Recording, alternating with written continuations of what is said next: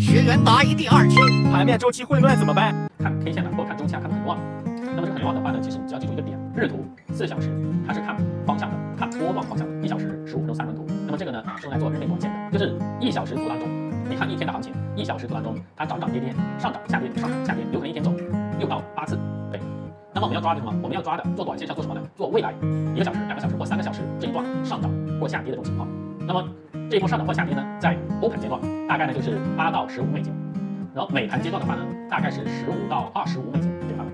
欧盘涨一波或跌一波大概是八美金，然后美盘大概十五美金。那么你在欧盘做的时候，你肯定不会在最低点或最高点平仓，对不对？那缺头啊，缺头掐尾，那这样的话你可能就留给你四美金、五美金的空间。就是一小时图呢是告诉你你做的这一波它的空间到底多大。那我们确定这个方向有可能涨，那我们就从十五分钟图或五分钟图去找做单的入场信号门，是这样的啊。就五分钟图、十五分钟图，它不是用来跟你说未来涨多少或跌多少。分钟、十五分钟呢是告诉你有没有做单的这个信号，它是这个意思。那比如五分钟图出现了阳包阴啊，或者出现了什么啊顶部或底部信号啊，那么这个就是做单的理由嘛。日图四小时，它主要是看大方向，看多大呢？日图呢是看接下来一两天或者说本周大致往哪个方向走，四小时图也是这样的，所以他们主要是用来判断波段的。